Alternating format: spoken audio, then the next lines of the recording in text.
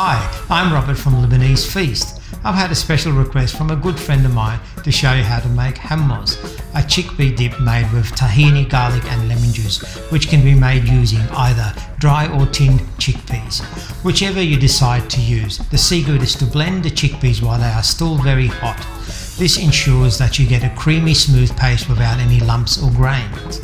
Now if you're using tinned chickpeas, drain them, put them in fresh water and bring them to the boil for around 1 to 2 minutes. Then strain them but keep the hot water as you're going to use that to adjust the thickness of the paste as you blend. Now I've prepared earlier 400 grams of chickpeas using the dry method where you need to soak them for a day and a night and then boil them until they are soft. The next step now is to prepare the garlic paste by using 8 grams of garlic and then crush it with a bit of rock salt. Let's get started. 1 quarter teaspoon of rock salt, 1 clove garlic, around 8 grams or near 2.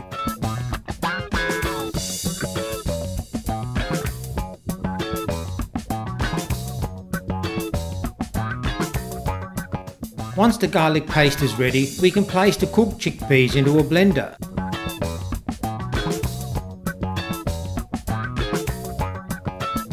Give it a good blend, the more the smoother the paste. Adjust the paste with some water and give it a stir. The consistency should be similar to thick custard. Blend it some more, followed by another stir. One more good burst should make the paste nice and smooth. Place the contents into a mixing bowl and add 2 tablespoons of tahini.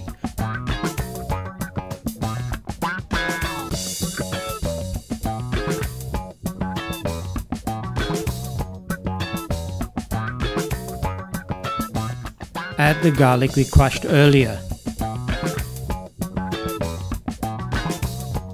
Mix in well.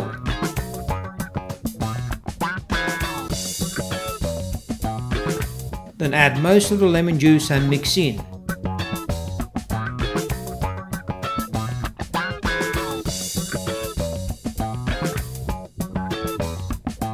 Do a taste test. And if the mix needs more lemon juice, add the rest in.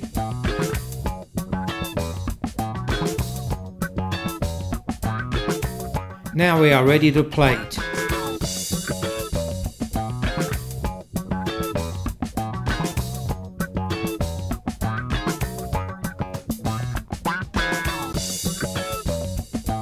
Evenly spread the dip and using a teaspoon create a swirling pattern to the center. Drizzle extra virgin olive oil following the pattern.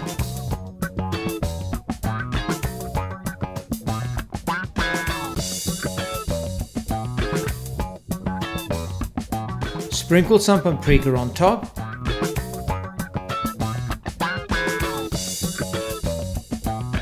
and decorate with a few cooked chickpeas.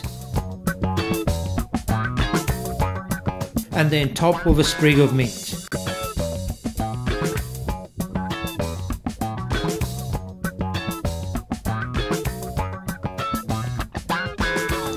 How easy was that? Lebanese hummus.